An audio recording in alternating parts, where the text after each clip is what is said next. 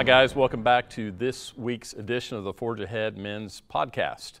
I'd like to spend the next few weeks just talking about work and our, and our work ethic. And what I'd like to talk about very briefly this week is going the extra mile.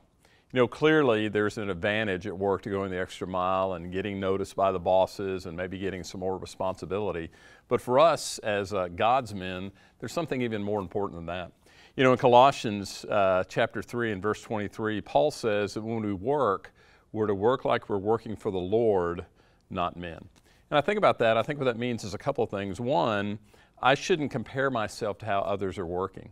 Uh, I'm not trying to work the way someone else does or better my work ethic over someone else. I'm not working for men, I'm working for the Lord.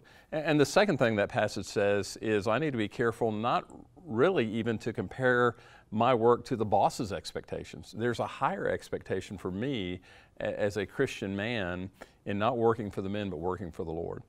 You know, um, it's hard sometimes in our work environments to really be motivated and to be willing to go the extra mile. It, it's hard not to just be motivated by money or by the praise of men, but we need to always come back to what Paul said in Colossians and remember that we work for the Lord. Our ultimate objective is to receive praise from Him, to hear Him one day say, Well done, good and faithful servant. That's why we need to go the extra mile.